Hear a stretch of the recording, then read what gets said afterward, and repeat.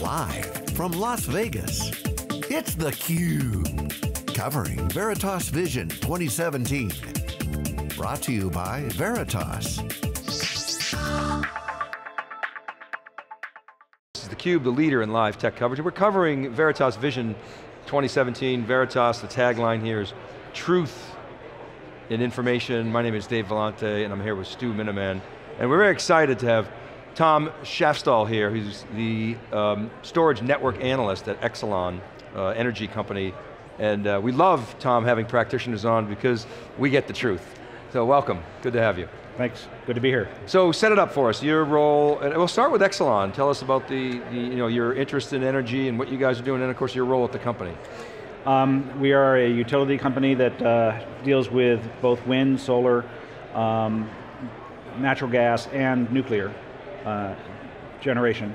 Um, we have multiple, um, Exelon, Exelon has multiple companies that are providing uh, electricity in um, Chicago area, uh, in Philadelphia area, New Jersey, Delaware, Maryland.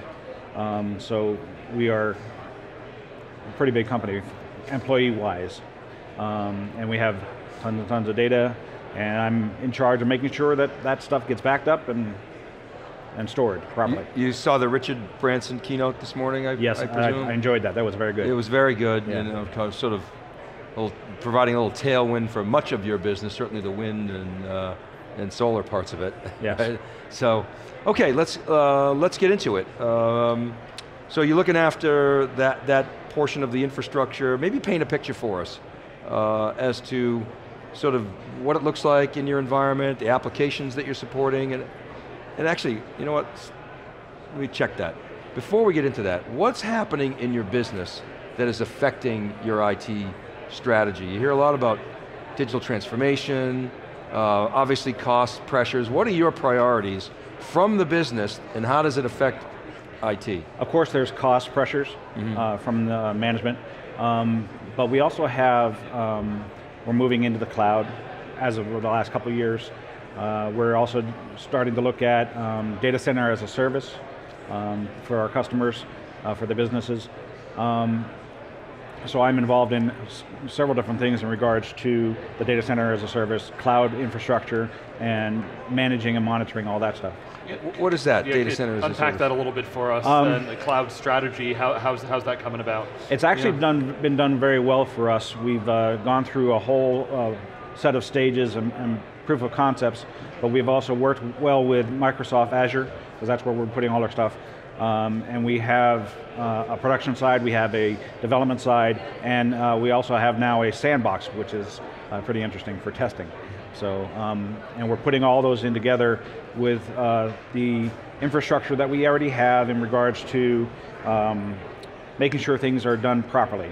Uh, the security is done properly. The uh, ownership of the accounts are done properly. So everything is, is done in a, uh, uh, real precise manner through our process. So data center as a service is essentially your hybrid cloud strategy? Yes. Uh, that encompasses the public piece, which is Azure, your mm -hmm. private cloud on-prem, on and all the associated corporate edicts and security and compliance, so stuff that goes with that, is that correct? Correct. Okay. And we also have uh, remote sites that we're going to be doing um, we have a lot of uh, energy plants around the country um, that are really small, they don't have a real big pipe, so data center as a service really works for them uh, as well. So that's kind of the things we're starting to look into as well. So part of that is a service catalog, getting that house in order, is that right? And Yes. And and you do chargebacks or showbacks? Yes, do. you do mm -hmm. chargebacks? Yeah. Okay, and so. So that's all included in that. Have you always done chargebacks? Um, over the past uh, several years as we've really built it up more and been more precise in our chargeback. I mean, I've always wondered, you know, wonder if you could comment from your experiences and your peers. You know, 10 years ago, you would ask folks if they're doing chargebacks, they say, nah, it's just too complicated and you know, we just put it out there. Sometimes we'll do showbacks, but as cloud has come into prominence, mm -hmm. people seem to be doing more and more chargebacks to be more cloud-like uh, and be more precise. Uh, maybe that's tooling, maybe that's culture. What, what's your experience been? Um, yeah, we actually started doing uh, more and more reporting on our uh, uh, physical and virtual environments. Um, about two years before we actually started into the Azure cloud. Uh-huh. Um, and I think that was in preparation for that because they saw that that kind of uh, technology was already there in the cloud. And we wanted to be prepared for that and make sure that um, the accounting side of things was a little bit more precise in, in, in what we were doing uh -huh. in, in charging back. Okay, so let's get into it, Stu. Yeah, can, can you maybe sketch out for us a little bit, you know, how much data is your engineering team cover, you know, how many sites, you know, what's, what's kind of the, okay. the purview and how do we get a, kind of, kind of give us this thumbnail sketch? Um, we have um, three main data centers right now um, in Chicago and in uh, the Baltimore area. Um, currently we're taking one of those data centers and consolidating into the sister data center which is about 20 miles away from each other. Um, so we're dwindling it down. Um, and our utilities, uh, for instance, are, are managing their own data centers as well. So we have multiple data centers all over the country. Um, and so, um, but we're putting most of our corporate stuff into ma ma two major data centers. So we're in the process of moving those, and we have about nine petabytes of data that we're actually backing up and, and managing storage-wise. So um, that's just on the corporate side. That's not on, even on our nuclear side. We have more than and the primary sort of applications that you're supporting, I mean, we don't have to do an application portfolio, we only have 15, 20 minutes, but, but generally speaking, maybe talk about some of the, the more critical ones from a backup perspective. Backup perspective, we have uh, just net backup, um, both on the nuclear side and on the corporate side. Um, we are also using Data Insight uh, as well on the corporate side, and we just, I believe, got our nuclear guys interested in the data insight stuff. But, but in terms of the applications that you're, you know, the data that you're protecting, what applications are they supporting, if I could ask it that way? Um, we have uh, HP uh, applications, suites, we have um, RMAN, we -huh. have an, uh, Oracle uh, databases, we have SQL databases.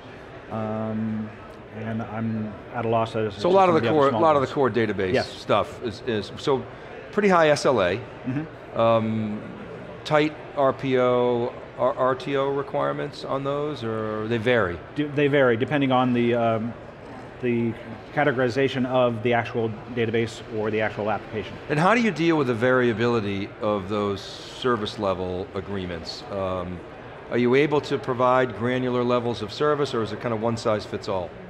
Um, we go down to the granular level. Okay. Uh, we don't try to do one size fits all. That just didn't work uh, in, the, in the starting of things when I first started in the company. Um, we saw that they were trying to do that and it just doesn't work. And, and so you predominantly a, or, or, exclusively a net backup shop in terms of your data protection, is that right? Or? Yes, yes. We also have um, snap vaulting and stuff with our NetApps, our shares, um, so we are backing those up and, and, snapping them off to the other data center and, and vice versa. So mm -hmm. we have that capabilities as well. So you've been at this position for over a decade, mm -hmm. and mm-hmm. you've sort of seen the sort of the the end of the client server era, not the end, but the but the you know the tail end of the curve, mm -hmm. internet era. Uh, obviously now seeing the cloud, or you, virtualization and the sort of cloud. How has how have those changes affected your data protection strategy over the years? Um, well, with our virtual side of things, we've actually migrated most of our virtual backups just to VMware. Um, they are actually handling all that within our infrastructure on where we hold all the, the VMware servers. Um, so that's all done outside of NetBackup altogether. We do um, take care of the production side of the VMware uh, servers that we have uh, through NetBackup, and we treat them as physical servers. Mm -hmm but all our test and dev and all that stuff, that's done and held for 14 days and then it's gone. Okay. For so, uh, all right, so we talked a little about off camera and you said you were very happy with net backups. You really mm -hmm. haven't, you know, you haven't, haven't brought in alternatives. What about the product and the company is appealing to you? There's um, been a history with me because in a previous life, if you want to call it, uh, with my, uh, I was in the financial business, uh, working in the data center, and I had uh, the opportunity to get into the early stages of uh, Veritas NetBackup 4, I think it was. Um, And then um, I got out of the financial uh, industry and got into the utility industry and it was automatically net backup and I was familiar with it. It's, it's very easy to use. Um, it's, uh, it's just pretty reliable uh -huh. for restores and all that kind of stuff, and management. So, so Tom, one, one of the things we've been poking at uh, this week is, of course, Veritas has a lot of net backup customers. Mm -hmm. You're, you're a loyal one. Uh, talking about this you know, digital transformation and software-defined multi-cloud hyperscale world. So some of those things I think resonating, what, what are you hearing, what interests you from some of the new products uh, that they're announcing and you know, how do you see the relevance of what, what Veritas is saying in, in your world? Um, what has interested me so far uh, in our um, sessions and in the, the keynote sessions and all, um, I'm looking into possibly talking to our architects uh, about uh, InfoMap, um, uh, getting that maybe possibly in the house or and or uh, the data resiliency because um, we're already got most of our stuff in the cloud that we're putting pushing out there. Um, we don't have to push any extra data out there right now, um, but we may still do that. We may be still migrating some data like for archiving and that kind of thing. Um, that's a possibility.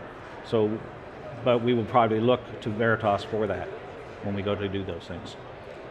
So thinking about what you've heard this week, you know, you hear a lot from Veritas about modern data protection, um, cloud, application mobility, things of that nature. As a practitioner, how do you look at those things, those capabilities? Are those things that you're, you're, you're considering, actually actively you know, architecting or, or, or, or, building a plan around? Maybe you could talk about sort of futures a little bit. Um, with our uh, data, we have to make sure um, there's accountability somewhere. Um, we have to make sure that uh, we know who the owners of these things are, and we have to coordinate with them in regards to moving anything, of course. Um, and with um, CIP infrastructure and all that kind of stuff for all those regulations. Um, we had to make sure that all our data is held properly. Um, and going into the cloud, um, we want to make sure that what we're putting out there is going to be put out there and, and held securely. Um, there's still some trepidation in regards to that, uh, but I believe our company is moving forward and wanting to do more and get uh, less of a footprint in our data centers for hardware and, and all that kind of stuff. Um, for the governance of this stuff, we, I, we have the Data Insight software out there. It's helping us to um, recognize what kind of files are out there, what, who's using them, who has access to them, um, and we are starting to use that more as well. Uh, we're currently doing a POC to try and uh, get ownership to that actual data because we really don't other than what Data Insight already gives it. Because this is the number of people that have been using this data, I'm giving you ownership, is the way it was before. But now we're able to actually classify, this is the owner, he's he's going to be the one that uh, takes care of that stuff. Yeah, Tom, I'm, I'm just curious. You know, we, we talk a lot about you know there's the opportunity of data. Is is data for for your business? Is it a challenge to keep up with the growth and manage it and uh, you know govern it, or you know is, is your business turning that into an opportunity? It's my full time job. Yeah. uh, and my boss's full time job to make sure that we have enough room for all the data that we're doing. Yeah. Um, we are trying to do some. Um, neat things in regards to managing it better um, and keeping um, data, especially for us, um, our upper management decided to ask us the question recently is, are we doing replication between data centers to keep you know, our DRs and, and all that kind of stuff and viable? And we were like, uh, yeah, Good question, we, yeah. And then we started going into that perspective and actually got it so that we are can definitely say, yes, we have everything here and here, we are DR safe. Do you test that? Yes. Uh, in fact, we just recently uh, did a, a, full test of our um, corporate financial DR data, uh, and it went off without a hitch. Excellent. All right, Tom, um, we'll give you that last word on, on the conference, Veritas Vision. You know, how do you like it? Why do you come to this, this shows like this? You know, what kinds of things do you learn? What, what's of interest to you? What, um, I like to get more information as to what uh, Veritas is offering. Uh, they are, they're a very good company. I've had a very good uh, rapport with our salespeople and with uh, the engineers, uh, with the um, help desk people that, that come in and, and, and talk to you and make sure that, uh, you know, if we're having issues, they're right on. Uh, I've just had a real good experience with Veritas in, in the whole realm of things. Things at the show, anything interesting that pops out to you? I mean, things that you've learned, the takeaways? Um, we're looking more now into uh, some of the cloud uh, capabilities that you guys have, um, especially with the resiliency program, with the um, the InfoMap, and again, more info, uh, inf information with the data insight kind of things, all the capabilities they're just going to start bringing out. And just the, the beauty of all that stuff actually working together and being more um, cohesive, because before you had data insight, you had InfoMap, you had, and they weren't really communicating properly to, to really help each other report. So that's, it's, it's really good stuff. Excellent. Happening. Tom Shaffstall, thanks very much for coming on theCUBE, appreciate it. Thank you for having me. All right, you're welcome. Uh, keep it right there, everybody. Uh, Stu and I will be back with our next guest. This is, the, this is theCUBE, we're live from Veritas Vision 2017. We'll be right back.